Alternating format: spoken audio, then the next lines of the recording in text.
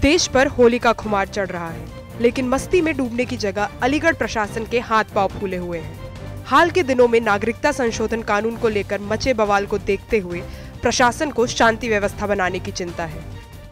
इसी के तहत अलीगढ़ के अति संवेदनशील चौराहे अब्दुल करीम की मस्जिद हलवाईयान को पर्दे से ढक दिया गया है, ताकि शरारती तत्व रंग फेंककर धार्मिक सद्भाव में खलल न डाल सके।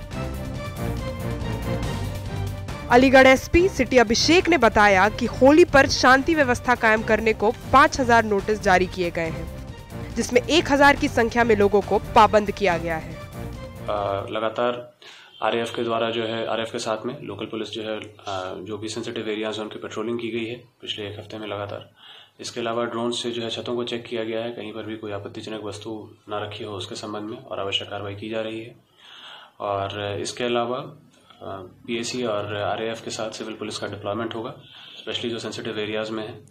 और सभी थाना प्रभारियों को ये भी निर्देशित किया गया है कि सभी जो है अपने साथ ब्रेथ एनालाइजर्स रखेंगे, ताकि शराब पीकर कोई कानून का उल्लंघन ना करे। और पुलिस पूरी तरह से अलर्ट है और होली का त्यौहार जो है वो हम कुशलतापूर्वक संपन्न कराने का पूरा प्रयास करेंगे। सर शहर में मस्जिदों को भी ढकने का जो पहले भी ढकी है, वो क्या रीजन है और क्यों, क्या मस्जिद ढकी है? देखिए कोतवाली क्षेत्र में सब्ज़ी मंडी पर हलवाईयान मस्जिद है, जिसे एहतियातन ढका जाता है। सेंसिटिव एरिया है और जो भी दानिश्वर लोग हैं, उनसे बातचीत करके ये एक ट्रेंड है बेसिकली जो फॉलो किया जाता है, क्योंकि सेंसिटिव एरिया है और दोनों पक्ष के लोग इसमें कोऑपरेट करते हैं ताकि सांप्रदायिक सौहार्द बना रहे। बता दें कि होली पर शांति व्यवस्था कायम करने के लिए 5000 लोगों को नोटिस जारी किए गए हैं।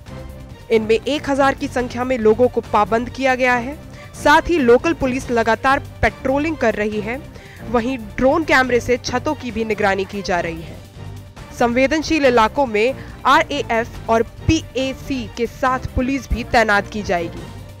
अलीगढ़ से शिवम श्रीवास्तव की रिपोर्ट, यूपी तक।